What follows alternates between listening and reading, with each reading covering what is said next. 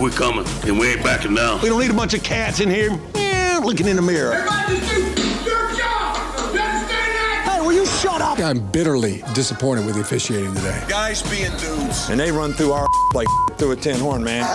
Thank you, late. Tim Godfrey.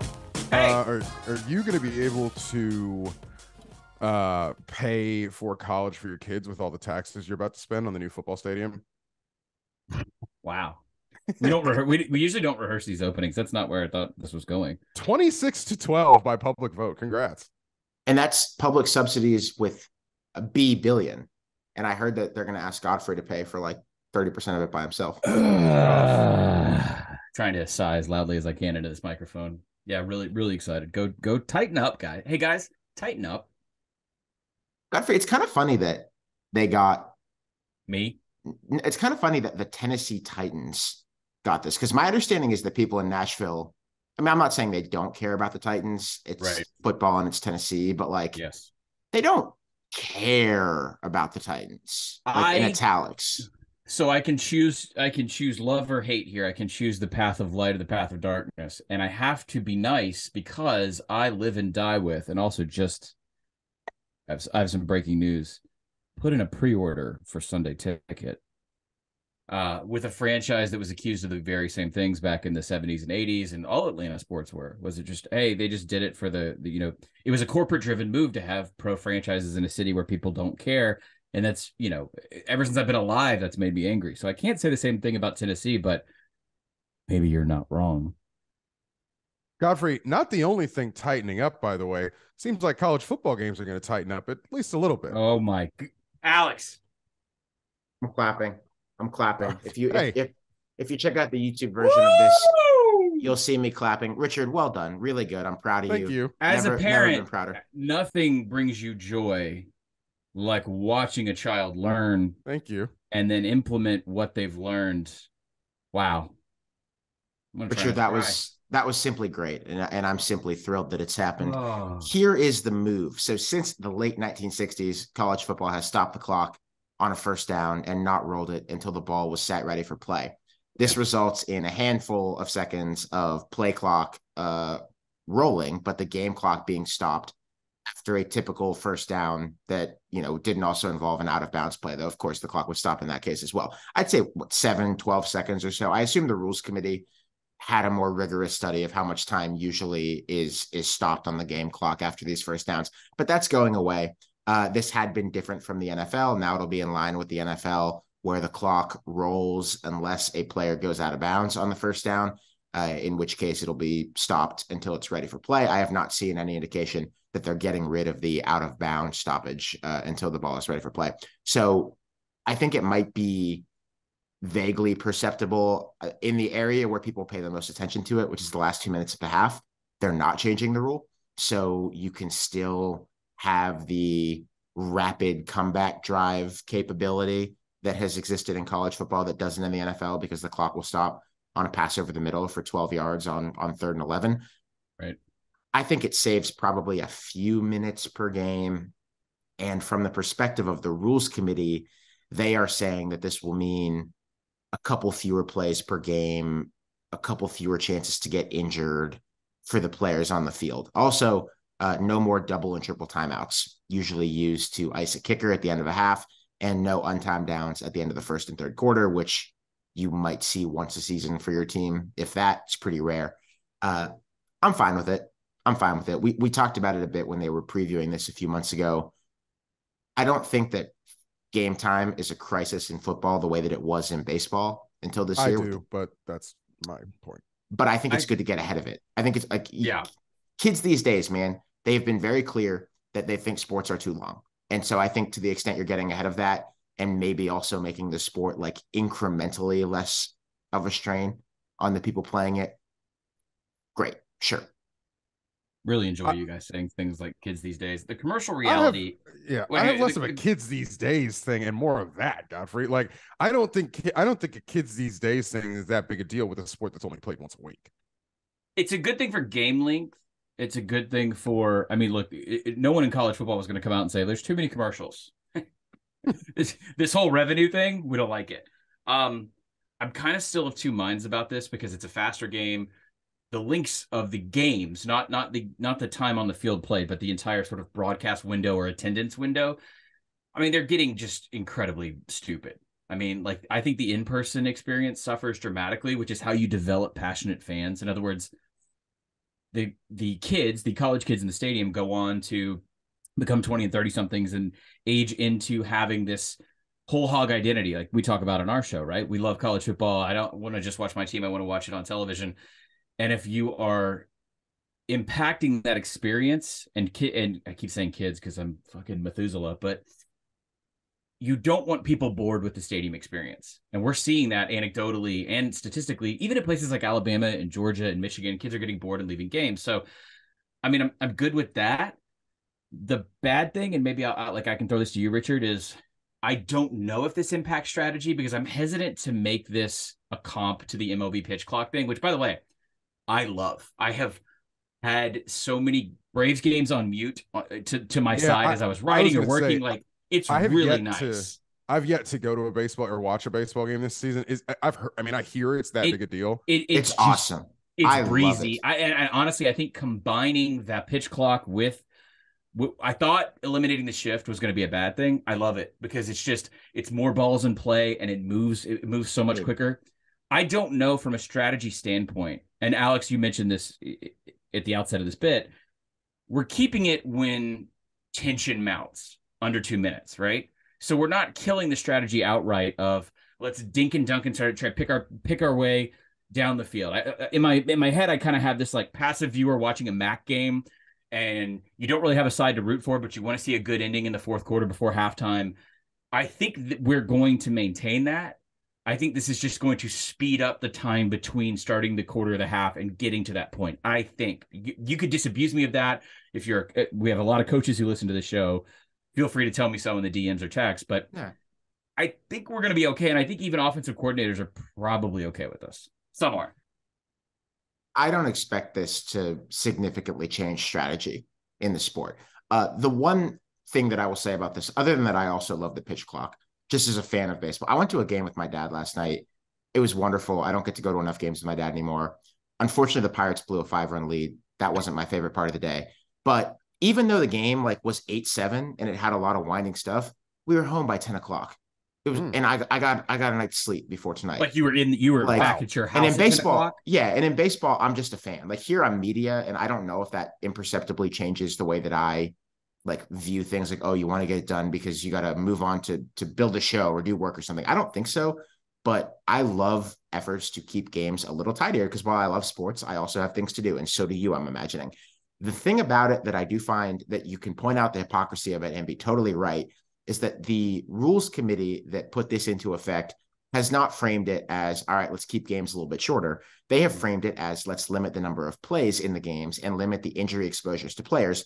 And yes good. Uh, obviously it is also very very inconsistent to do that at the same time that you're expanding the playoff to 12 teams and opening up the possibility of, of 16 game seasons for teams right. and not not the possibility but in fact you are opening up 16 game seasons for uh, what are still unpaid laborers. And there you get back to how nobody is really in charge of college football. And the people on the rules committee are not the people in the governance board for the playoff.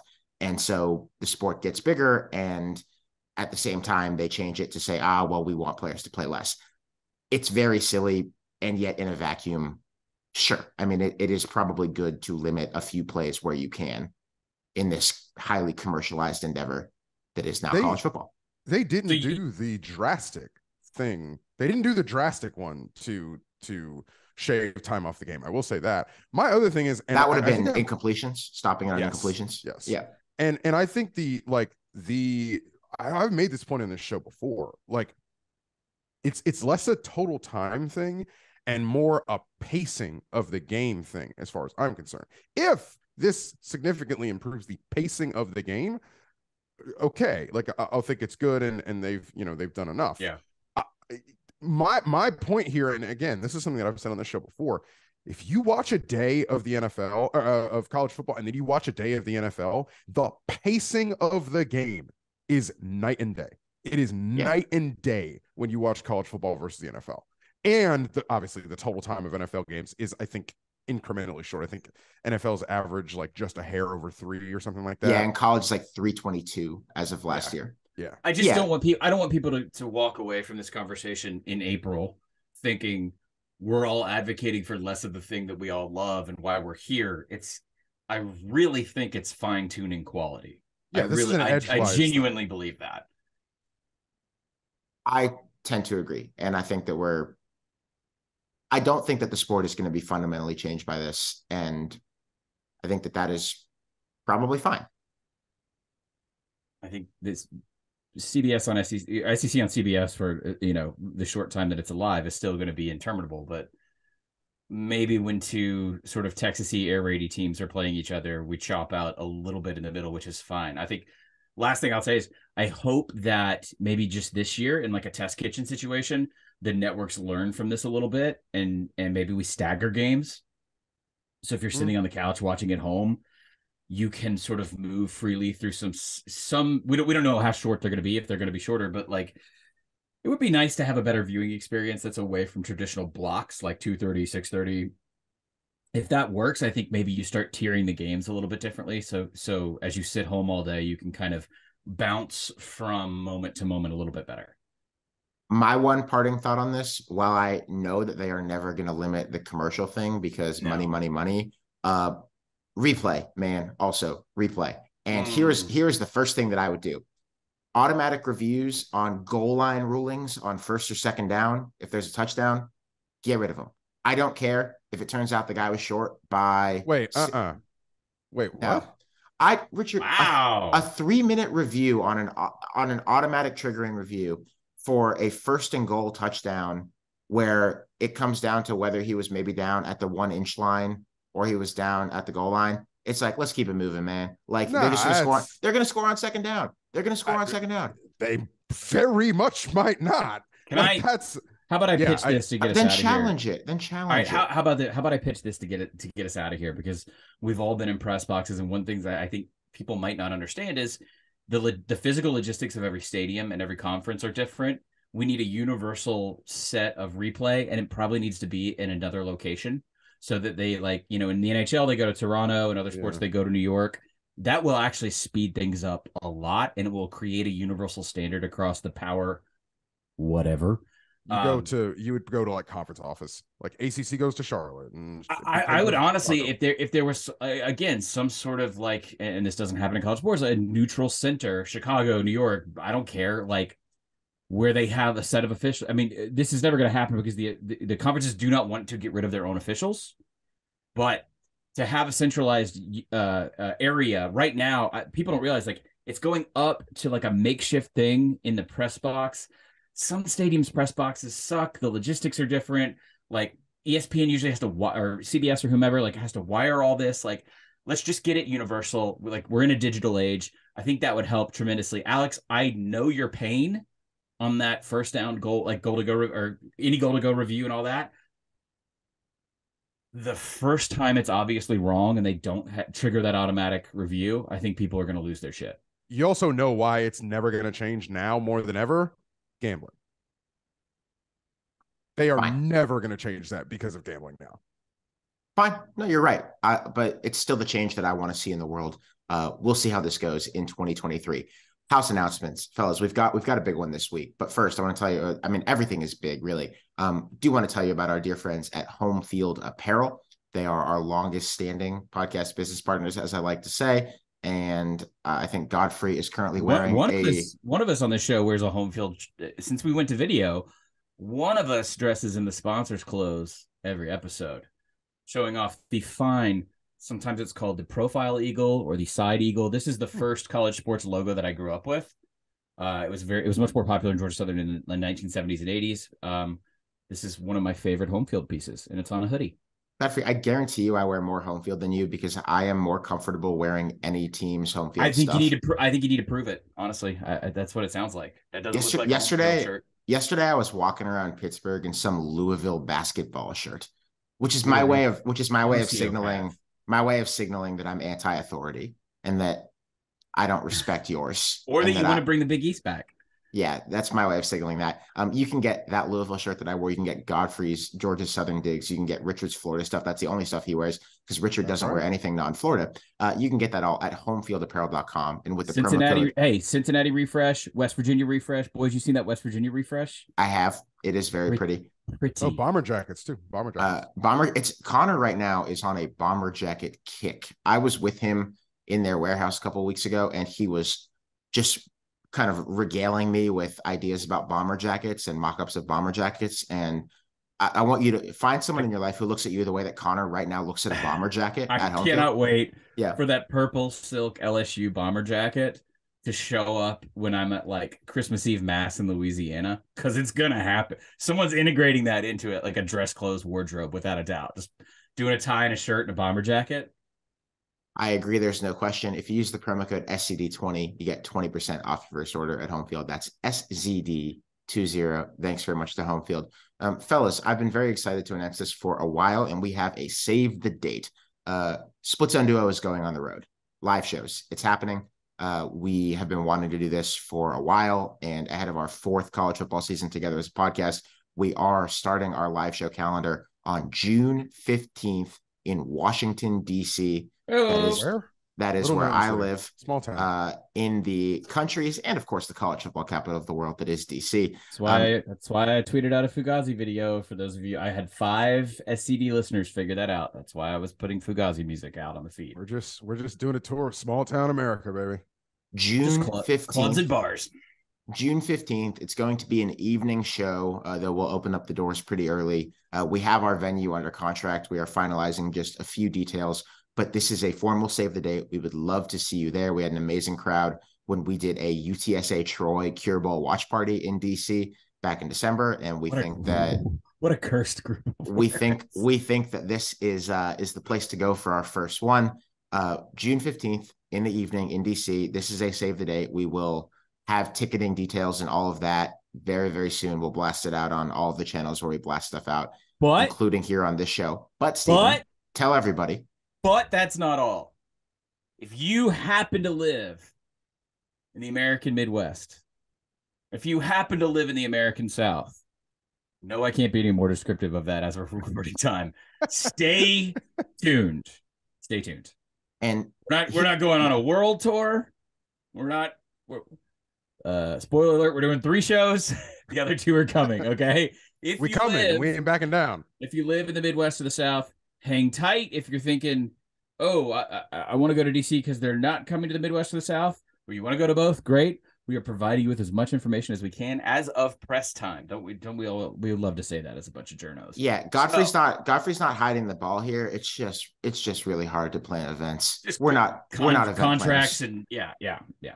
So Washington D.C., we got a date. Come see us. I think the Hills in session. All you young staffers, you burgeoning alcoholics, all of you Versioning.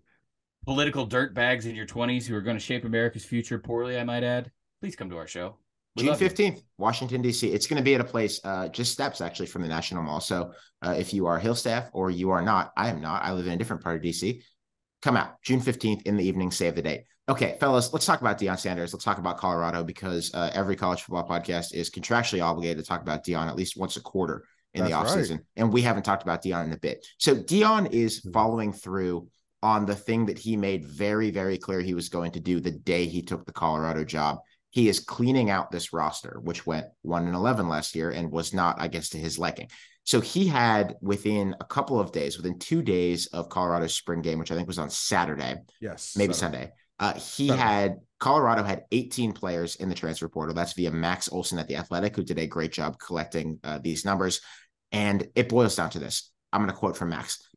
Colorado had 83 scholarship players at the start of the 2022 season. Only 20 were still on the roster as of Monday night. They are in the 40s already. That's the that's the end of Max's quote. They are in the 40s already in transfer departures. Uh, as of Tuesday, the next most in the Power Five was 29. Uh, and I think that Colorado has had another player or two in the Tuesday, Wednesday time. We are recording this on Wednesday morning, go into the portal as well. So Colorado has lost a ton of players and had a ton of a ton of turnover. And maybe that's fine. Again, they went one and eleven, and that's what Colorado fans are going to point out. They're going to say, or some Colorado fans are going to say, "Oh, prime series, cleaning house." They went one and eleven. It's a new era, new roster, etc. Word of caution: not every one of these is a guy that he wants to lose. Montana Lemonious Craig, this wide receiver who was really good in their spring game, was going to be a sophomore this year, I believe, uh, was one of their big spring spring game, spring ball stars. He's leaving. He's going to go and play at some really good program. Shedeur Sanders, Deion's son, the QB, was antagonizing him on Instagram after he left. Didn't seem happy. Aubrey Smith, a linebacker who apparently really impressed the coaching staff in spring ball this year, 24 7 said that he was one of the few players to get a jersey number, which is sort of an indication that the staff likes you. He's leaving. Yeah, Deion did a like earn your jersey number thing during spring. He did a like white how- Yeah. from the 60s So- impression. I don't know what the overall number of guys is who are leaving It's- Colorado because Deion is flushing the roster and chasing them off. Because there's a lot of that. Godfrey and Richard, you guys talk about that. But it's not all of them. And some of them are just le- like leaving for greener pastures. And I want to make one point before I kick it to you. Deion Sanders is not for everybody.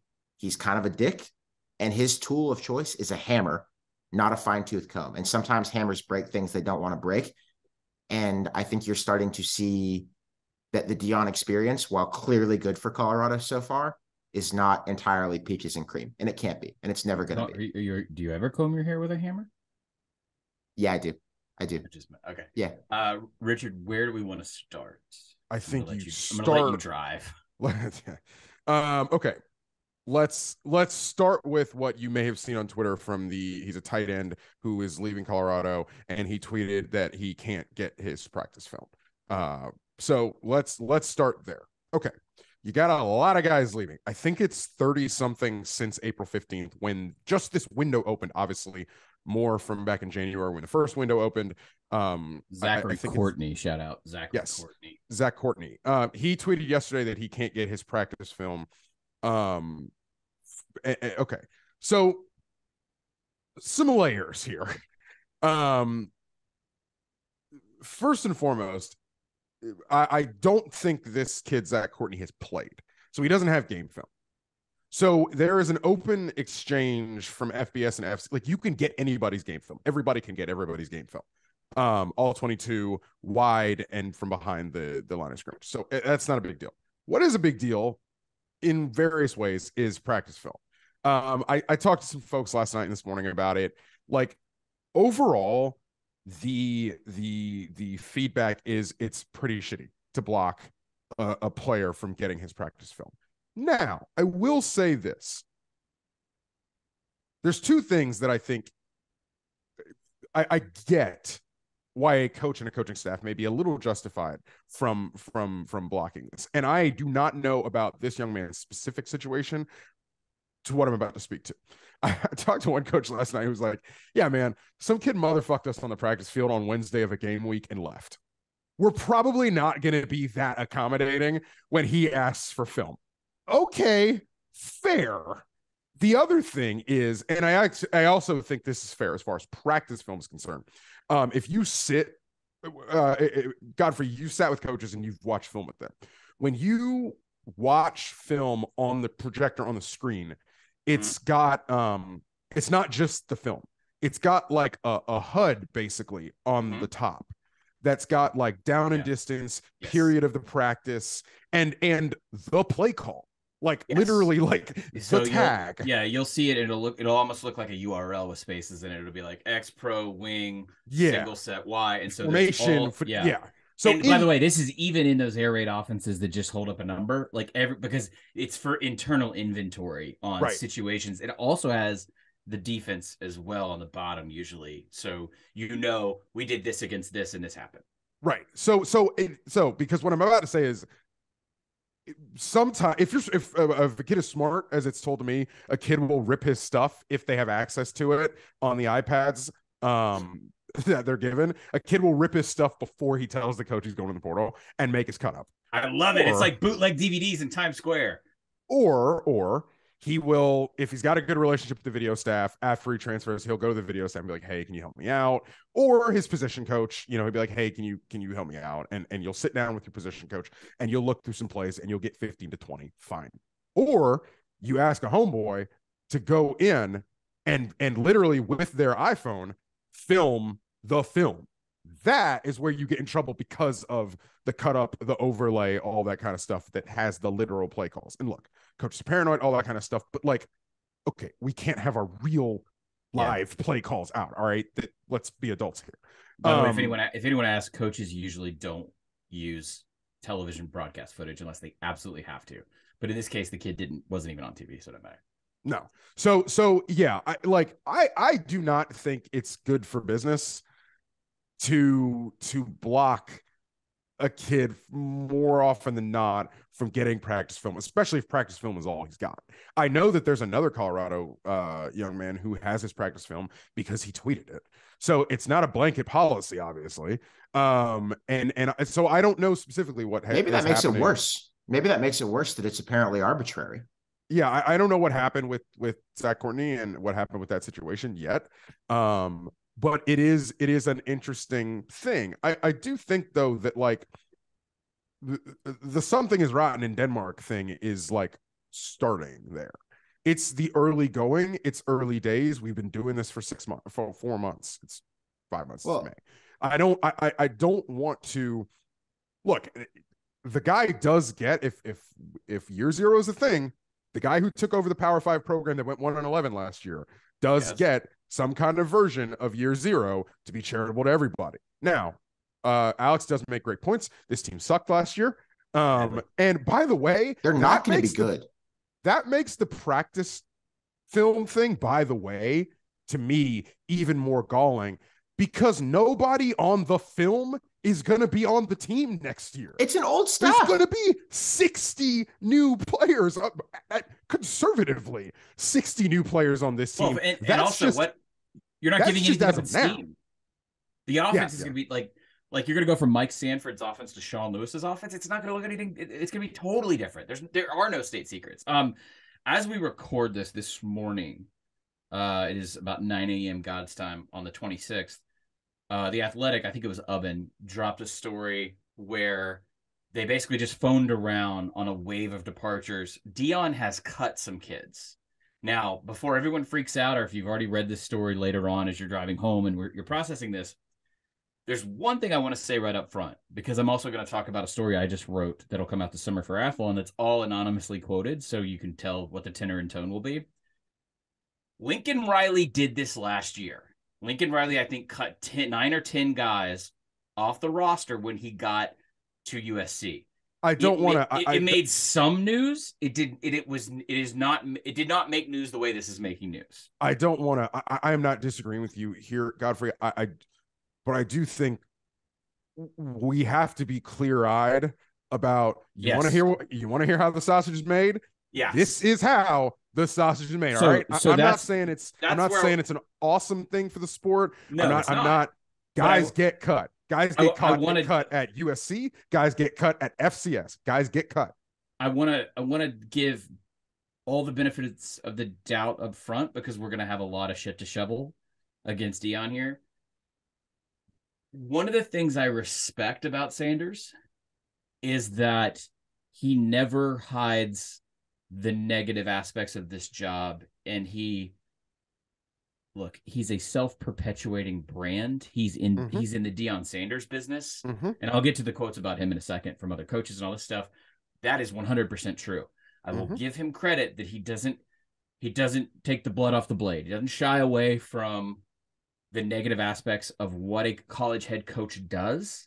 Whereas, remember, like he you, told you he was going to do this. Yes, yes. Now, all that being said, okay, all that being said, I think the more galling part of this is not that hey, offensive lineman, tight end, whomever, we don't need you because that is a that is the nature of the business. Shocking how these guys can't be considered labor or have health care, but they can get fired. It's weird. Um, it's the quote that the quotes that stuck out to me the most were how he'd never really interacted with these guys at all. Yes. Uh-huh. How how uh-huh. uncomfortable the dynamic and the dichotomy was between the new staff's guys and the the the older roster. And that's not just day. Like I heard a little bit Let about that last one. night too. Like I heard a little bit. Go about... ahead and read one, Alex, because I think Richard and I are going to do a little no. I, I, I want to read one because I, I, think that this this was really good reporting. Uh, David Ubben is a really good reporter, and we, we know him. He's a friend of the show who did this for the Athletic. He did the work. He made he made some phone calls here. Um, one of them was to the tight end Zach Courtney, who said, "quote None of the new coaches would talk to the old players and treat us the same as the people they brought in. The new guys wouldn't be picked on as much in film. Coaches would tell them to just do better, but if it was an old player, they'd keep going off on what you did wrong and keep yelling about it." End quote. That's piece of shit behavior. Like it's uh, sure it's on it, like it's it's a it's an upfront way of of doing business and this is how you this this is maybe just a more obvious way of getting players off your team that you don't want there but we don't have to like endorse this or sanction it like No, it's no. That is not the it's not nice that is functionally how you get cut. That is Yeah. part of the process to getting cut. Like It's a- it- it's it's a lot more high school lunchroom than Yeah. than anybody wants. to different admit. guy different And that- guy different guy said i just want to keep going here and then i apologize richard I'll, I'll kick it back to you different player who was on the way out this player is travis gray uh, who i think was an offensive lineman on this team said that he didn't even have a relationship with Deion Sanders, never talked to him. Uh, quote, no relationship with him at all. Said what's up to him a few times. I'm not sure he knew the names of half the kids he got rid of. End quote. Also, Again, not good, man. Not good. That- now, now That's pause. functionally how you get cut. I had a quote in the piece I wrote for Ath. So Athlon, I do the, the coach rumor thing. We talked about it. If you're a patron at splitzoneduo.com, become a patron today. The patrons get to sort of see the assembly of the anonymous scouting reports for all 130 odd FBS teams. I do it every year. I just wrapped up on it. And then Athlon asked me, could you do a feature on Deion that's sort of related to that? I said, look, I'm going to tell you up front. One, Colorado's not going to give us anything. Two, I am not going to do a phoner with like even if I got it with Deion, where like Deion sat down with some one of the ESPN.com writers and like I am not at 42 years old gonna transcribe a quote from Deion that says something like "We bring in the juice" or some other semantic bullshit that he's put that he's put out in the media. I I cannot do it. This is why I don't work in the traditional day-to-day college football media anymore. I want honesty. I know that the apparatus won't deliver it, so I will gladly trade an anonymity to find out what's actually going on. So I did that. And it, what was funny was in the space between the spring game and we us recording this, I had turned in the draft a while ago. I thought I always try and balance these things out because when people get anonymous, they get mean. Like we're seeing this in the NFL draft, by the way, right? Every single year. I think everybody who's a football fan knows that all of a sudden anonymous scout season will just be derogatory to some of these players because they can get away with it because there's an axe to grind because there's an agenda. I had a Or really they're no, or hard there's no time agenda, or they're not, or they're not Yeah. drafting a player or whatever. Yeah. or they don't really know what they're, they're talking about, Mm-hmm. or they don't actually have access to the kid or whatever. So I had a hard time finding balance in this, and it ends up being kind of like negative 80 20, I think, in, in, in the quotes. I will say, and I don't have the draft in front of me, I had an agent tell me, look, when it comes to sort of like player interaction time, you whatever you can say about Deion and his lack of interaction with his roster or the, the the lack of frequency with which he's in the building in Boulder, you can say the exact same thing about Brian Kelly and Lane Kiffin right now. Again, I'm trying to exercise benefits of the doubt to Deion right now because there's an overwhelming amount of evidence that this is at the very least absent of tact and empathy and compassion for players, but also guys like from a football sense, all the coaches that I spoke with, especially in the Pac 12, like just talk about Colorado for a second. This is an extremely bad football team that is not going to be able to, to sustain the system shock of having every organ retran- uh, transplanted or retransplanted in one cycle of recruiting. This is This- a one in eleven team that Yes. I don't like. Like, hey, look, they're going to come out and score some points. Sean Lewis has a do. faster, a, a faster, better scoring offense than Lane Kiffin. Travis Hunter don't block. Their defense is cheesecloth. Okay, like this is going to be a bad football team. And the persistent comment that I got was one that we've talked about on this show, Richard. What is Deion Sanders, the media mogul, the YouTube show? I can't talk with him about without having six YouTube cameras on me. All this shit. What is that culture like at one and four? Do you want to play a schedule game right now? You don't even need to. Let me let me spoil it right now. This team might not win an FBA or a Power Five game until like close to Halloween. Like Stanford's probably their best shot, and it's not. I think I think it's in mid October. Colorado State might beat them. Okay, so what does all this circus look like? Because he can control every element of narrative. He also had no persistent or aggressive. Be- I'm sorry, my apologies to the Clarion Ledger. It's not your fault. Gannett is a fucking ghoul of an organization and an entity and a news uh, a, a news corporation. The Clarion Ledger didn't have the teeth to chase his ass the way a good beat reporter should and could. He's going to be. I'm not saying Colorado is the is Alabama or Ohio State in terms of media coverage, but it might be now because you kept Yeah. you, you kept wave you keep waving the red cape at us, the larger us, not SZD. How are you going to hold up to this scrutiny? David, who is a friend and um, is probably listening to this, like David's basically the Athletic's Colorado beat reporter right now. Like, all right, Why do we keep All right. punishing? Why do they keep punishing this man? They made him a Tennessee beat writer. oh, writer. there is nice. before no, they they put Denver- Ubben in Knoxville before Tennessee got good, and now he's gonna cover. What the heck? Is Stewart listening to this? What did what did Ubben do? Jesus, it must I have been a highly inappropriate Christmas party. I think there is something to this that people might have lost track of how bad Colorado was last year. Like I have seen, I'm not gonna, I'm not trying to pick on anybody, so I'm not going to, but I've seen some commentary that's like, this could be a team that could win. I think I've seen seven. I think I've seen nine. I think, I, I think I've Yeah. seen. you like, got to grow man, up about that. Like, like In 2023, I- like football games, Do you know what this is? my This- voice can't get any higher. Are you this- fucking kidding me? this is going to be, in my opinion, this year's version of last year's Arizona, which is you me play the were schedule game. absolutely terrible. You are still kind of bad, and you're probably not good enough to make a bowl game, but you're fun and you score points while giving up a ton of points. That's what I expect the on-field product to look like.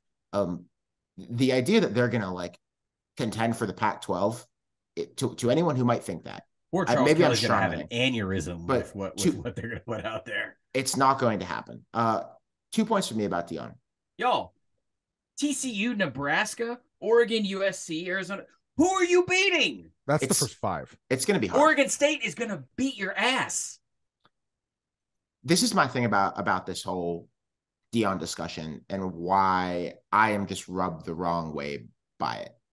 It's I think it's a hypocrisy thing. It's like y- yeah, Deion has the right to rapidly flip over a terrible team and like he said he was going to do it and he was just being honest and all of that. But like don't give me the stuff about how this is going to be like some ruthless meritocracy and like the cream is going to rise to the top and then like it, end the end the QB competition before it's even started because you want your kid to come with you from an FCS team and you think he's like absolutely better than anyone you could possibly find to play quarterback. Don't do that. Don't do the If he- whole. He did this at I'm Jackson sorry, State a I'm sorry to way. interrupt, Alex. If Don't he gets do- injured. If he gets injured, that was brought up several times. If he gets Yeah. injured, if Shedeur gets injured, they don't have Because they didn't, because he closed off the Right. market to Colorado Yes, we- so that he could put his son as a power five quarterback. And- maybe unless there's a enough, maybe late not. portal window, and by the way, unless you're completely bereft of other opportunities, why the fuck would you go to Colorado to back up the coach's son? So everyone competes except for family, I guess. And then the other thing is like, why why am I rubbed so wrong by him being so crude to the players he was trying to chase off the team? It's because in his last job, he pitched himself as this lifter up of young men and of a place. Like Deion wrapped himself in the Jackson State flag, the HBCU flag, the builder of young men flag, like the changer of cultures flag. He wasn't Right. just like, oh, I'm going to be a good football coach. He was like, no, I'm going to, I'm going to change a place. Like I'm going to, I'm going to help people. And then you treat people like this. Like you can do that, but we can say it's bullshit. And I think it is. You know what? And you know what all this that's all. reminds me of? It's this is the exact same way. Let's take every element out of this for a second. Ex NFL player, celebrity, the the the uniqueness and the ubiquity that is Deion. This is the exact same structure of criticism we apply when a late 40s white southern coach wraps himself in scripture. Yeah. You cannot He's already yeah. cannot always do that. And by the way, Deion, no stranger to the New Testament. Uh, you cannot do that and maintain rolling the dice a hundred and you know a hundred odd times on a hundred odd kids every single year. You're going to have either off-field incidents. You're going to have m- legally gray uh, discipline issues. You're going to have disenfranchised kids talk poorly about you. It's never a good tactic. You are never going to be 100% a pious Christian man. And if you use that as a selling point, it's going to be used against you eventually. What Deion is doing is constantly and consistently arming his his critics and his opposition with a variety of weapons that they can shoot holes in different aspects of his program. And the reality is he's not he doesn't have a 10 win roster to bulwark against that. So I'm fascinated to see late November when we're talking about the next recruiting cycle or the next portal cycle how the culture there is going to reflect the sales pitch he gave when he got it. couple things on that. Um, look, let's talk about this roster as currently constructed right now. They're at roughly 60 odd um scholarship players. 85 is the number you want to hit, be at, whatever. Um, I think it's like three defensive linemen on the roster. They got rid of one defensive lineman who I'm told is power five good, another who's probably high level G5 good. Um, they, they got rid of players I think who can help. I am not concerned about Deion's ability to attract skill talent. To be honest Right. with you, Sure. I am concerned about how Yeah. you win football games, which is blocking and tackling, as I am wont to say on this show. Where are the linemen? We're going to play the A11, I guess. As we all know about a football team, the easiest thing to do is develop offensive line chemistry without a spring practice or a truncated spring practice if you're coming in late. Um, you're coming in in, in the April window. Like I, I that's Richard- where I and look, Richard, Deion before was- before this week, I had a Pac-12 OC said it's the worst D line in the Power Five. Before And- what you just said happened. And look, Deion was Deion was. I think he said after the game, he was like, "What we look like now is not what we're going to look like." Da da da. da. Yes, that's every team in the country, all that kind of stuff. Right. It. I am very interested in in how Deion Sanders triages not just losing, I mean getting your ass beat, Yeah. What's TCU going to do to him? getting your ass beat. Because I'll tell you this, we could talk a lot about Matt Rhule and what Matt Rhule is, and what, Ra- what Matt Rhule isn't. That Nebraska team is going to be tough. That's his right. home. That's his home debut, by the way. That's why Richard's saying this on, se- on September 9th. That's his home They- debut. That Nebraska team may not win a lot of games this year, but you think the Nebraska team that made quarterbacks live in their spring game Uh huh. Isn't going to be juiced up to run through your ass? They're going to full back the shit out of them, and they should. Not, I'm not saying that because I want them to lose. I'm saying that if I schematically, if I'm looking that- at yeah, that's what I would do. with Yeah, a front seven like that, hey baby, I mean, look at the shirt I'm wearing. Triple that shit. like grind those. Actually, that'd be wise for Matt Rhule to do from a fundraising perspective. If that shit looks like Osborne in Boulder, Colorado, oh my god, fullback belly every I play. hear But the thi- erection from here. This is my thing. And, and, like, look, the, the Alex made this point earlier. The Deion is not for everybody thing. Like, look, the guy's got cameras everywhere. They follow him around everywhere. That is what I've been told. Yeah. Like it, it, it, I've been told that what what Ubben put in the thing about like, you know, player he doesn't know he doesn't have a relationship with some players. Here's the other thing about just the football thing. I had two people tell me last night they look small. As far as watch the spring game, they look small, physically small. Yeah, definitely. Like Shedeur is not a big kid. no, and that's just he's work. gonna get banged up by virtue of the system. Like Who's the last he's he's gonna Who was the last contact. Colorado quarterback? Didn't they play four quarterbacks JT year? Do you Well, remember yes. who was the last Stroud Colorado is the one quarterback you can, who like, didn't get think of. crushed? Do you remember Sefo Liufau a couple years Mhm. ago? That really good quarterback they had who just got crushed all of Who the was time. the kid on the ten win team that um, that him. Him. Him. Yeah, and it's yeah, Steven yeah, yeah, Montez. Uh, Steven Montez same is who, time. that Montez is who I was thinking of. Colorado quarterbacks are are magnets for contact. This Well, transcends it's coach. just- they just they haven't run the wisest of systems because they've always been on the short end of the stick in terms of what Richard's saying is recruiting and developing line talent. I just and I'm sure maybe someone well, they won't do it at Colorado, but maybe someone offline can explain to me. They pushed out linemen on both sides in certain degrees. I just from a body's perspective, I understand you could be the master of the portal. Let's say you're 10 times better than Kiffin. I don't understand how, from a body's perspective, you're not welcoming every lineman on both sides of the ball possible right now.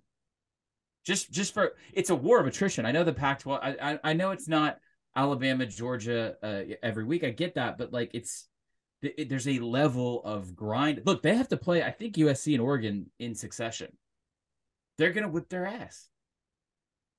And they're going to grind them too. By the way, like those teams don't have to be fancy to beat them. They're going to lean. Do you know what? Hey guys, they play Utah this year. Mm. That's a snuff film. That's a that should be illegal to watch.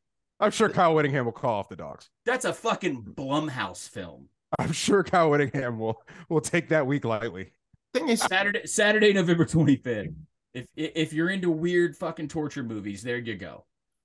I think that when they get killed in these games, I think what Deion will do is just try to not focus on that and just talk about Yes. other stuff. Like, Yeah. re- like remember when You can't preach free agency thing is, for peop- 12 games, Alex. that you can't, but people might forget this because it doesn't get talked about a lot. That Deion went 0 and 2 in the celebration bowl at Jackson State. And the mm. first time he got his ass absolutely kicked Yes. by South Carolina State, which is coached by Buddy Pough, who's one of the most respected coaches in Division One football, I would say. And he's the one who said it, that Deion wasn't swag, right? No, no, that No, was that Eddie was Eddie, Robinson yeah. at uh, Oh, that's right. that's but right. Eddie Robinson, who is not, re- it's Eddie Robinson Jr., who is not the son Incredible. of of Eddie Robinson. I'm telling What you, is Stephen, what are the od- what are the odds? of it's that? incredible. it's just ridiculous. Like we have to do something about. We have to do something about it. We have to do have a something about it. Should have like a laminated card on him at all times that explains that that fucking discrepancy. Um, Um, I think so No, he'll but talk he's about, got- he'll but talk he's- about other stuff. But That's Alex okay. is making the point. Like it, the, the pivot is going to be raising young men, scripture, yada yada Yeah. yada, blah blah blah. I do think, and and I, I was talking to somebody about this last night. That that scripture bit, that stuff plays a little bit differently out there than it does with Grandmama in Mississippi. this is one of the most liberal, moneyed. This is one of the most fortified, rich Democratic enclaves in the country. Don't do the Gospels, bro. Just a word of advice from a cracker. Don't play that shit there. I It's not think- gonna work. Deion, like where I do think, and and look, Deion has already s- signaled this. He said that like something to the effect of like we want quarterbacks from two parent homes and linemen from single parent homes. Like he said that I think during He Super did say that. He did say Um, that. Uh, I like he that the, in his opening press conference, he said Boulder is a place that doesn't have any crime and it has a lot of sunlight and it's beautiful. Like it's just Hmm. I will I will spare you a conversation I had about the type of kid How is this going over in the black community? How Richard? How how when we're not around? How is this being discussed? Golly. I, I, it, Yeah, I know, and I'm not asking. I'm not asking you to actually answer that question. But this is an if you know, you know moment. That's another the- pod. We, we will. I will tell you, we will have an opportunity to have that discussion on this podcast. Don't worry, we can't give no- out all the good material in April. There's no way this shit is landing in the black community when when it's just the black community having the conversation. There's no fucking way that this is landing. So It I, look, it's going to be year zero. zero It's going to be year zero ish. That's the Colorado thing for now. Lord knows we will come back around to it at a later date. All right, uh, that's one nightmare this week. The other one uh, ends at the end of Thursday night. Uh, the NFL draft fucking finally is upon us. Um, This can't be the most annoying year that you've had of the draft. It can't. No, no, no, no. Last dude, last year was Last year was miserable. last year was rough because the quarterback sucked. I thought it was fine. No, no, no, no. Last I'm talking. I'm, I'm I'm talking about dumb narrative. Oh, I'm whatever. only talking about like the the it gets dumber and dumber and whips itself up and whips itself up and college doesn't really have a comp to it. I'm sorry, like going into National Signing Day, you don't have this Right. much junk science and bad, honestly, just bad information. Yeah. Um, I, I think this year is l- not as annoying as years past, but it's still pretty bad. Wait till next year with Caleb. Speaking of the quarterback thing, Godfrey, I'm glad you brought that up. We had a quar- our quarterback tier special on Patreon. You can go ahead and go and listen to that. Um, you can listen to that if your team's going to take a quarterback. You can listen to that if your team's not going to take a quarterback. We went pretty deep. Uh, we, we- I think we went like 10 deep on this class and also did a review, a, a quick review of last year's class as well. That is on our Patreon page. But yeah, th- like this class is a lot quarterback class is a lot more interesting than last year's. There are better players there are more intriguing players. Because of that that sets the tone for how a draft class just kind of uh, uh from a narrative perspective how a draft class is is actually portrayed um and and and ingested. I think that regular sports fans dude regular sports fans do not pay attention to the draft until this week now, it- it- you pay attention Yeah. to oh i would like my team to take xyz but i mean Yeah. globally the draft class in general This is until where I- like yeah. today This is where the seams show the most on a year-round media cycle for the NFL. because all the broadcast partners pay the highest premium for NFL content, so they want to drive conversation to their their shiniest acquisition at ESPN and all the other networks. You also have the NFL network. They've they've wonderful. We talked about this in the show before. I wish college football would follow suit. They have a wonderful calendar. You know how the NFL is going to like the combine can overtake uh you know college sports that are going on or whatever. We talked about that before. This is where I think the length of the process Mm. it, it almost feels right up into this week before Thursday night. It feels that valid information and good content is actually at its thinnest as you Mhm. get closer to the draft because we have microwaved it and microwaved it and microwaved it. And this some teams are smoke screening it. Like some teams no, are I mean, yeah, my so my, my team's GM started a press conference.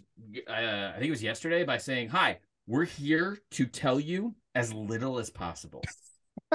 I lo- So- and he- again, I I love transparency. I love honesty in the business. Very funny. I'm fine with that.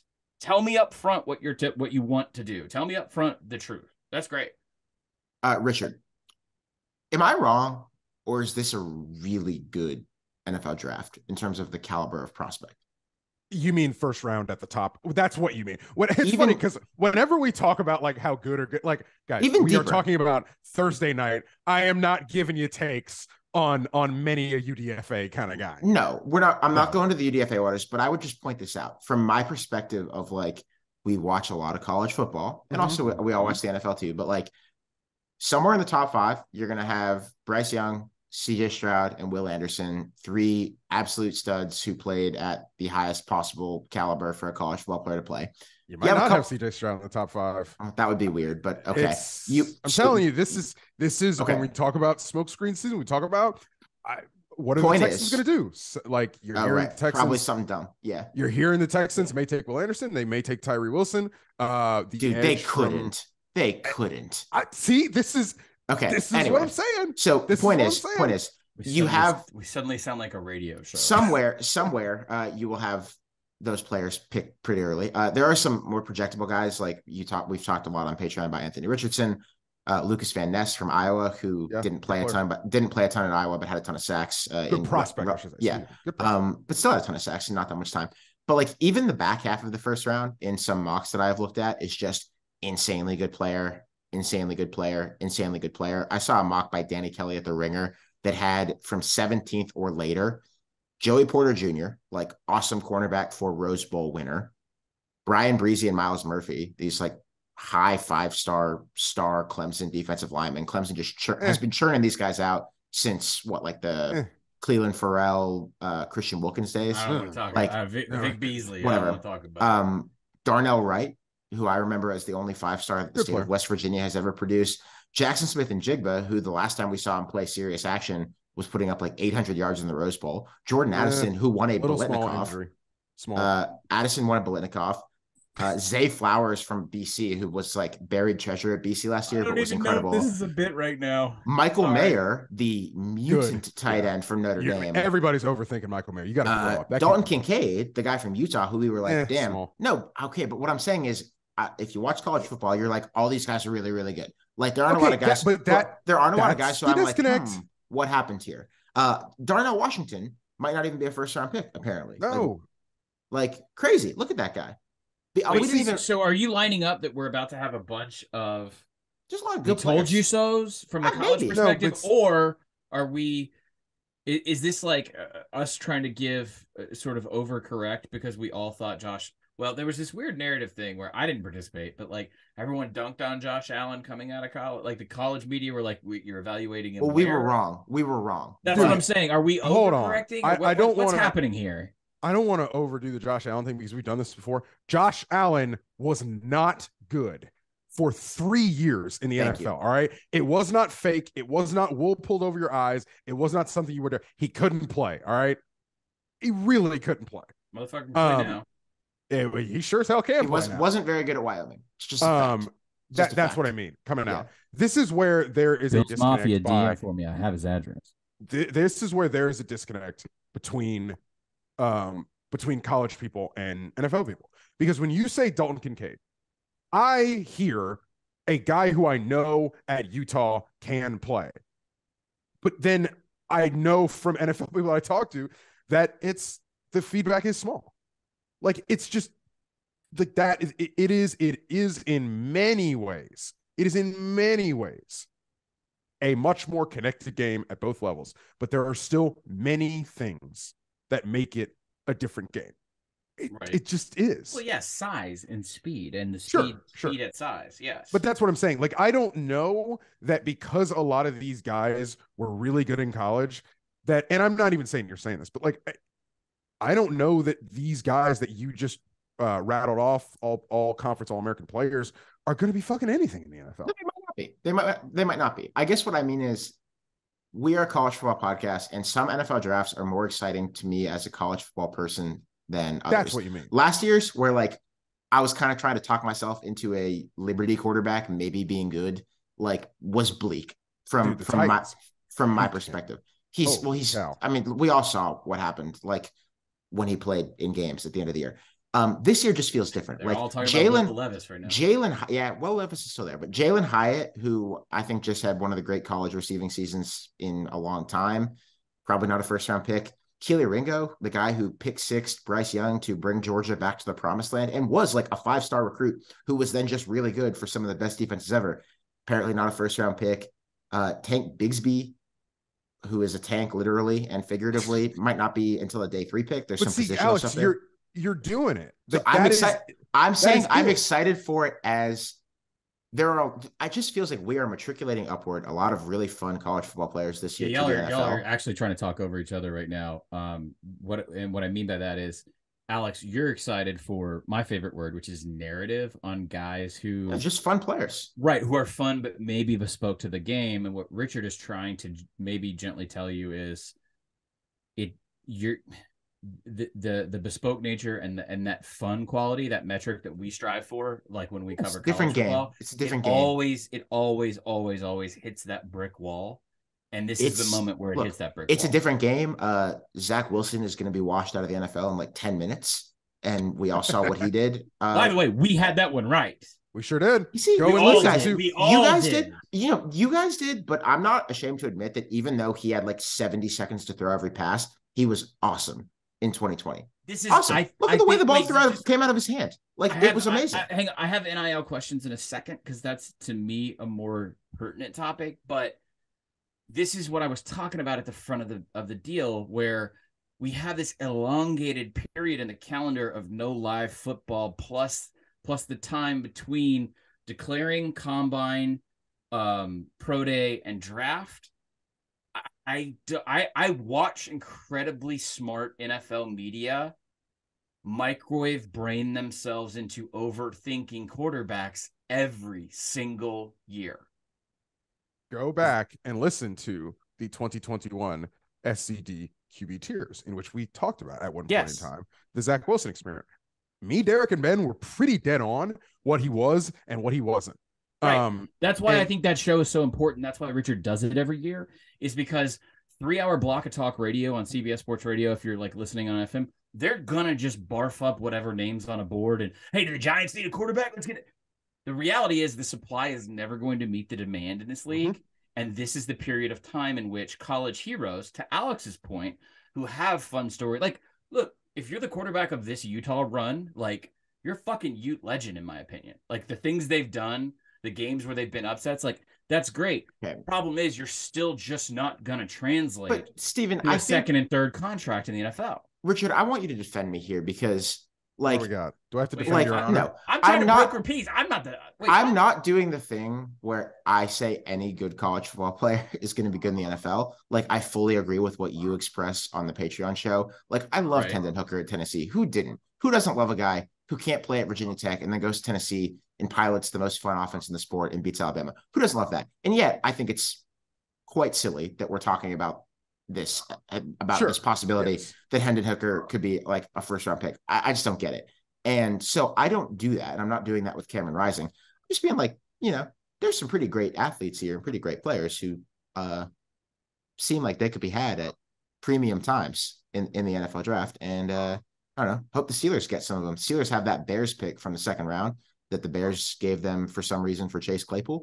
And you know, if Darnell Washington, Okay. if Darnell Washington could come to Pittsburgh somewhere in the 30s in, the, in this draft, I'd be pretty happy. I'll tell you. What ho- hold your hold your Yinzer thoughts.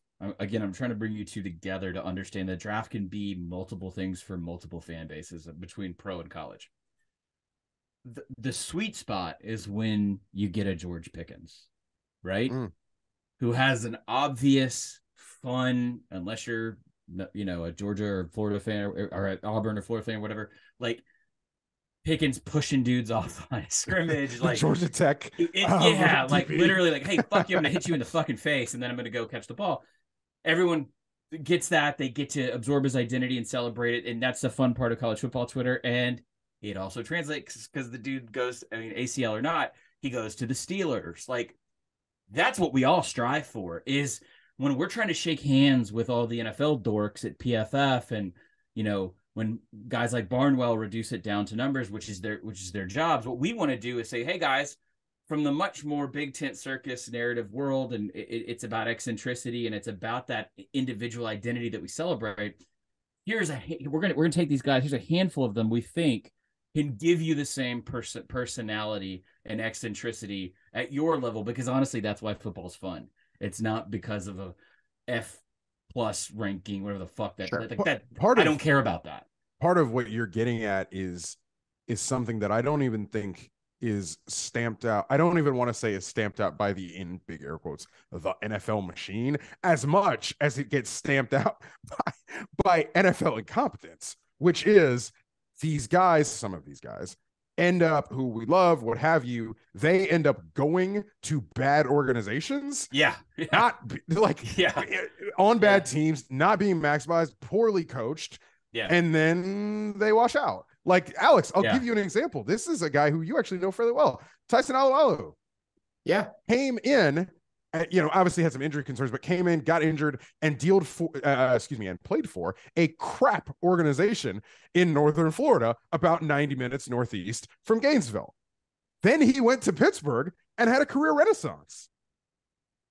So it's Here we you go. know, it- yeah. you Richard, know, I, it, it, there, there, there are things like that that happen. So I say that to say, like, you know, sometimes some of these really good college players who we love, you know, we we lose them not even because of their own incompetence or what they can or can't do, but sometimes because they are failed. uh, that's what, Richard, and- but, but to the Pickens thing, that's why him going to the Steelers, you're like, oh, of course, like awesome. Yeah. You know he's going to go to a reliable place that's going to develop around his identity and his actual skill set. Richard, uh, we will- we'll close out shortly, but I do want to ask you one question uh, because we just talked about some of his receivers and about good college players probably not getting drafted very high. Stetson Bennett, the most arguably accomplished Georgia Bulldog ever, wild to say, but objectively, I think true. Uh, who I hear might Oh, be man, going does that mean he's going to run for Senate? Too? who I hear might be going undrafted uh, and has had character concerns, even though he's white. Uh, Alex. What what's the deal? No, here? you can't. I'm sorry. I'm gonna. I'm sorry. White cop here. You, you can't run that shit. bit. You can't run that bit in the same course I can. that, that Johnny Manziel happened. Great bit. Okay, Great. but I'm sorry, okay, dude. I'm no, dude. That's Okay. more Brooklyn than the dude sitting in Brooklyn right now. I mean, they may be. I'm pulling your I'm- fucking card, bro. Steven, I'm podcasting for Pittsburgh, so I'm allowed to say whatever I want. Look, I I, will No say, fucking way you can do the white bit when everyone saw Manziel, saw it crash land. Okay. Jerry Jones has to Well, be physically problem is- restrained from drafting him. Godfrey, I'll tell you this: the problem is some of the in air quotes character concerns are uh, there's some hand holding between Johnny Manziel and Stetson Bennett. If we're going to be honest, Thank you, Richard.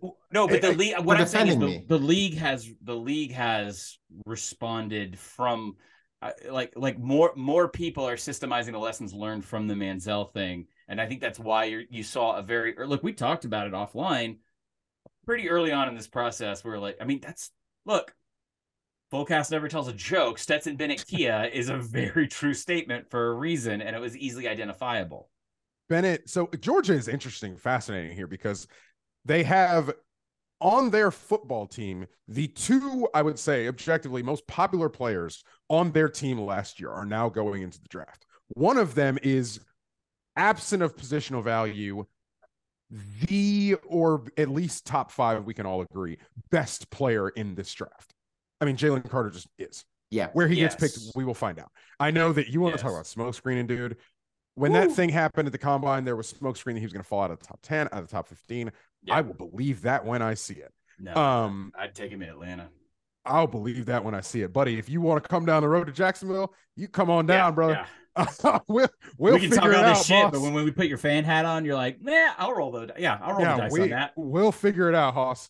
Um, so so there's that. There's that at the top of the draft with his own character concerns. Jalen Carter does have some character concerns. Let's be honest. Um, and then there's Stetson Bennett, who does not have the physical talent to cash the checks that his off season or I guess draft process dalliances have been writing. He Yes. erred in not going to the Shrine Bowl and getting a public intoxication charge. Uh, he erred in going to the combine and looking like he would rather be anywhere else. In in a like a Stetson Bennett needs to impress people or at least not fuck it up at the combine. That's the kind of guy who needs the combine to say to to to the feedback from the combine to say, great, checks the box. We're Hendon Hooker. Hendon Hooker leaves the combine, and every single team is like, whoa, that guy impressed us on the whiteboard, really impressed us in interviews, all that kind of stuff. People did not say that about Stetson Bennett. Um, you know, we understand. I, I, I probably think he'll end up getting drafted fifth, sixth, seventh round pick, Saturday pick, Saturday player. Um, and we'll of see did what you happens. Say fifth?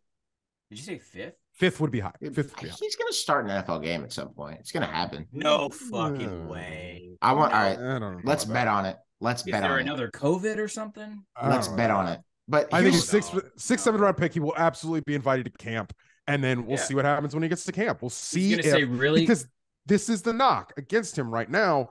The knock is that he is yet to yet to professionalize personally. We will see if in the next four or five months, when he gets into a camp, if he's able to mature and get to a point where, hey, you know, professional football player and he's being a pro. But right I will now, that is the knock. That is what I'm hearing. That is what I hear. I- I talk to people. to that end, I will bet good American money that our that our friend of the program, Cole Cubelic, will be interviewing him on the sidelines next February uh, during an XFL game. Okay, disagree, but we'll see. Uh, but part of why I think this this pre-draft period is kind of uniquely harmful for him, and like Godfrey, you can caught me, and I I'm doing a bit, whatever, fine. But like part of his appeal, until it was clear that he was actually really good, was like, look at this kind, nice young man with this great handshake, who like looks like he could have been the president of any fraternity at UGA. Like he's just this nice young. And I think that this is Wait, wait, coded in some it way. No. I know. I, I know what he's talking about. He's talking Hey, about the like. that out. He's talking about the like rags to riches, Yes, like uh, like- walk on like- to starter, like this that perseverance and leadership and this character of this young But man. then you and- guys are and- contradicting yourselves at the How front of this segment because the because the draft doesn't give a shit about narrative. No, no, no, no, no. He's he's he's talking about in Stetson's first year starting. He's talking in At Stetson's Georgia? first. Yeah, in Stetson's first oh year yeah, starting. yeah, yeah, Yeah, all, yeah, yeah, All the Masters polo bros, But, they like, love that shit. the The Stetson first year Bennett starting and That's the identity first- politics. Yeah, the first everyone- year starter and then the loves first national championship had a lot of that. I understand Oh what yeah, else. absolutely, yeah. and it's also because they didn't have a, a more athletic quarterback on the roster because regardless, I can't believe he's a fucking OC. Well, I mean, maybe it's not a Monken. Actually, I'm interrupting myself twice. He's in Baltimore now, but bottom line was that offense was reductive to a point, and he got away with it the previous year because they had a legendary millennial, once in a millennium defense. yeah. Stetson Bennett worked in that offense because they didn't ask him to do fucking But much. Steven, I just I just want to be clear about what the difference is between him and Johnny Manziel. All of my bits and jokes aside, Johnny Manziel's thing when he was at A and M was uh he parties a lot. He is you know the king of campus. He eh, he is more of like a wild child. I, I don't know how I would put it. Uh, Stetson Bennett like doesn't have a smartphone, man. Like that's part of his story. George has made sure to tell that story over You the last still- few years. You could still be drunk and Like, dumb without a smartphone. I understand, Did it for decades. but you the identity politics thing like doesn't not matter. I like these players and their agents present themselves in a certain way, and Look, I, I, think I think if anything, and I'm not I'm not trying to run counter to this in Fox News. I just think it's funny that for the first time in history, we went through the well-bred white walk-on Georgia lily white polo dude wins two national championships, it goes through this process and isn't called well-spoken. isn't it's actually funny the analysis that's coming out through the back channels and the people that we talk to is the motherfucker ain't well-spoken. Well, Ch- hey man, Chad Kelly got drafted. Okay. I- True. True. there, there, there are moments on the show as we record live where there is a governor that goes off in my head. It says, "Don't, don't, don't, don't say that. Don't, I don't, absolutely don't do that." said that because we're on video. Not and the I Chad Kelly. No, no, no, no, not the, no. I, I'm talking about my response to that response. Um, I, I look, I, I, I do get it. He was always going to have an inflated profile because he was coming off of back-to-back national championships with Georgia. I, I guess I'm actually kind of like satisfied with the process because they identified that, hey, he's not an NFL talent because physical reasons, but also prep, maturity, character, culture, this kind of test, that kind of test, whatever. Like I'm, it's refreshing that I'm not hearing, let's say, a Titans fan that I see in, in, at Publix be like, "What about Stetson Bennett?" Like, Mm. no one has said something that's stupid to me. And Alex, I think ten years ago, they would have. I really believe that, where they would have gone like white, well spoken, you know, uh, gym, gym rat, you know, like all that shit. I really Maybe. do think they would have. So I think, I think if anything, it's a sign of slow progress that less people than I expected, even in the state of Georgia where I'm from, get angry about the Stetson Bennett key a bit. Even Georgia fans are like, yeah, probably. Which, by the way, why have an NFL career at all? You could be the you, Dude, like Dude, he'll sell a lot of Kias. you could be fucking governor. He'll sell Like, he'll sell just- a lot of Kias. Those are decent vehicles too. Are they going electric? They must be. Everybody's going like I don't know. I, I I don't know when he's doing a bit, But He's not as popular. electric as Stetson Bennett was. Yes, they have. E- oh god, I'm getting under the. Oh god, he's doing a bit. I gotta go. uh fifth and seventh round picks there's a quick thing and it's something that i think we're going to need a couple Yeah, of years serious to kind of journalism. Is. NIL affecting this, Richard? I need to know. like, I, I i i'm not going to say it's not. I'm not going to say it's not. Um you know I, the broncos gm george paton's the broncos gm yes. He uh at the combine i was standing there. He actually made a mention. He was asked this and, and sort of said this. The the bottom of the quarterback market is affected edgewise by nil a little bit in that Hmm. guys are saying in school. And i think we saw this in basketball like oscar Tshiebwe, who is the really good kentucky well i don't know about really good but the kentucky no, he basketball is. player. He's really okay good. okay He's really good. Yeah, I'm they're out of my gonna come. depth. They're gonna come for you for that. Yeah. The okay, okay. The Kentucky basketball player. He was a projected second round pick, as I understand it, last year, but Mhm. came back because of NIL money, and like they made him like a Kentucky colonel or some shit. So like, uh, like a lot Is he there. black? Is he black? Yes, yeah. Uh, that's notable. Um, there's so a lot going on there, but it's happening in basketball too. Um, edgewise players come back to school because we can pay you. So yeah, this is what I'm. Yeah, yeah, yeah, yeah. yeah, th- there there are definitely NFL people who are saying they are seeing this as a developing thing. I would like to see it over a couple years and make sure it's not just like a one draft class thing or a two draft class thing. Let's see it over the next couple years. But I don't want to dismiss it out of hand. I do think there's merit to it. do we need to I, I totally agree with you we always need a data set there's too many things that are happening in college sports right now where i'm asked for an instant reaction i say we need three years we need to we, we need cycles i need to go to people who are smarter than me and say this is the trend line that we've established nil is a great example of this in many ways but in this specific instance so my assumption is let's say you're let's say you grade it a six okay your six round draft pick and you're at a good like helmet logo school in the power five guys right like oklahoma or georgia whatever and they give you the NIL money to stay because you make that roster better and they're better for it.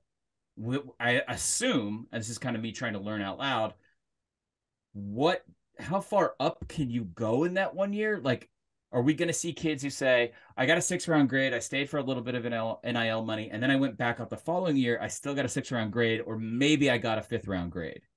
That's what, isn't that what we have to see? Like, in other words, is the value of a six round pick or seventh round pick diminishing because of NIL, or is it just delaying kids from It's- their inevitable fate as a six round pick? It's probably a delayed, Yeah. like because Like, how know, much better are you gonna get relative to the NFL standard? Uh, right? Like uh, you know, a, a- day three pick is a day three pick is a day Yeah, three pick. like you're not maybe, gonna. Yeah, maybe you vault up. It happens. Everybody knows it happens. But like, quarterback, I get if you if you can get tape. Now here's here's the thing though, and it's some of it's a Hendon Hooker thing, or a, a Hendon Hooker's the clearest example.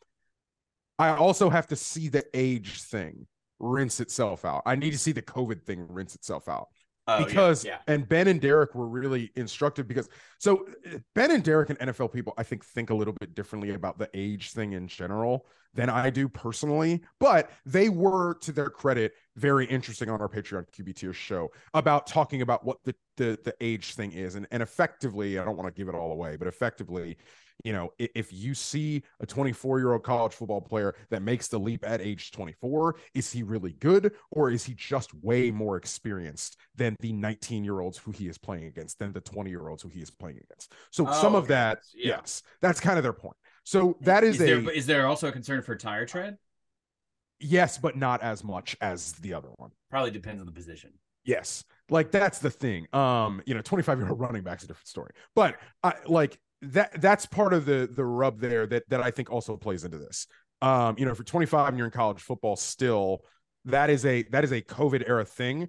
We got to rinse that out for this evaluation purposes to Mhm. also kind of make this full kind of judgment about what this is. But like I said, I don't think it's nothing, to be honest. And I do think there's probably something there because there's definitely something there in basketball. Like if you're a day three pick and a bang on day three pick, and you, know, and and and OU is going to give you a 100k or 75k to stick around versus the uncertainty of sure as a practice squad player you might could make 600 but that doesn't mean you're gonna be on the practice like you might just get cut like Yeah. you might get cut in camp like All it- right, it's all right. Last question, same line of logic. Let's put it in reverse for the purposes of ostensibly still being a college football podcast. Does this make good rosters that recruit at like Bud's level? What's it, the blue chip ratio schools? Yeah. Does it make them more more better, for lack of a scientific term, in that they're losing less NFL talent technically every single year? I Yeah, but assume then that there's- does, right? Yeah, but the other thing to factor in is grad and regular transfer like portal stuff. You also kind of Yeah, have to mix yeah, the the- portal yeah, I feel like the- too. You would have to isolate the portal, honestly, to figure that Yeah. out, probably. Because Yeah. the bottom line is you're. I, I don't know. I, I would need someone smarter than me to explain. Is there is there more value in having a returning veteran starter, or is there more value in freeing the spot up to go? And I'm talking about again, you're a high tier school. I'm not Mhm. talking about a middle of the road six and six AAC school.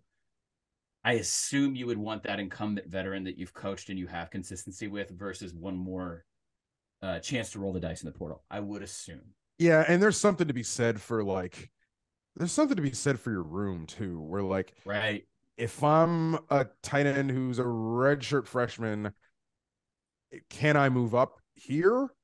Or are you just gonna bring in somebody? And that is the rub of the portal. If we want to tie everything today, everything today together, with maybe the exception of the clock stoppage, when I was working on the Deion thing, and this all connects, I had a coach point something out because he predicted, or maybe he knew that Colorado was going to flush after the spring game, or and also have attrition. He's like, "What do you do in the future when you have this amount of turnover and you're trying to install schemes and teach?" Our offense is going to have to become simpler our defense is going to have to become simpler because in college you get such a, a, a tiny amount of time to do install to have books right? Like the whole reason bill c has the whole you know returning starter you know re- returning experience stuff is that there are some intangible metrics to that too of like well then they know the play calls and they know this. And as richard just mentioned the room your linebacker room your quarterback room. But if we're rotating in every single year is the shit just going to have to be simpler out of necessity? And who, and it really comes down to who can teach the most the fastest. Hmm. Just a thought. That's our show. But before we leave, I do want to make one more quick plug. Uh, quick plug on the way out. Uh, you have probably heard us reference it a couple of times in the last couple of weeks that we are now on camera as we record this podcast. Full episodes go up every week on our YouTube channel. That's youtube.com slash at split zone duo. Uh, we also now have a much more active Instagram channel where we do a lot of stuff.